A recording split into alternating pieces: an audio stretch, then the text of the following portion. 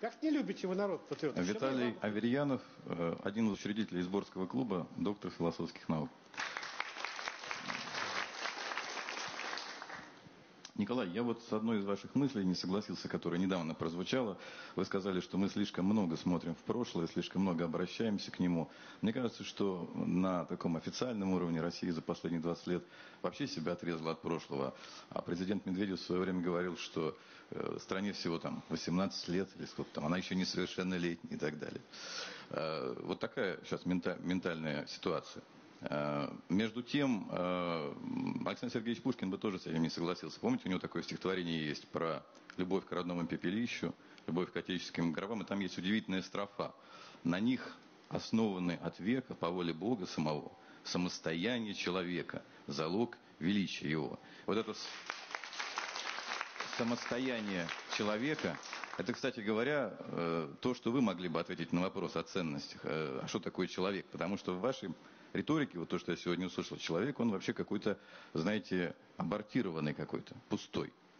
А, непонятно, чем его наполнять. И э, доказательством этого является даже не ваша речь, но дело не в этом, а, собственно, вот эти последние 20 лет – Потому что ведь это же самое нам говорили в 91 году, во время перестройки поздней, во время раннего, так сказать, гайдаровского строя. Говорили, что вот человек наша теперь главная ценность, его права, его свободы.